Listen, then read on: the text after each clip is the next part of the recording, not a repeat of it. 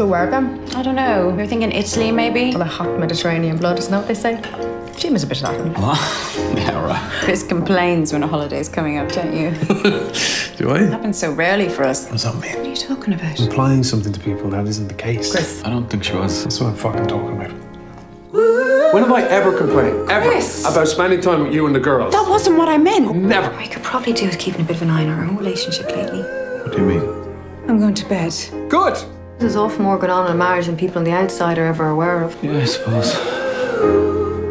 Lay your cards down on the table. Give me your hand.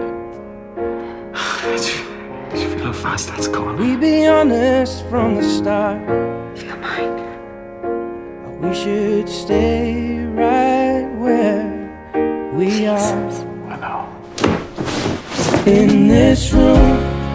Terrified. So am I.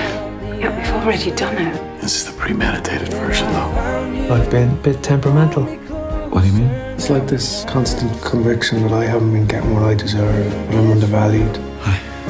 Hi. What's your code? Why do you want to know? I need to make sure that you're not up to something I think you might be. How are you? Okay. How are you, really? Not great. Now I find myself reassessing whether it ever was proper love. You can't just fall out of love with someone without even knowing it, you know? You are beautiful to me. God, what the hell we like?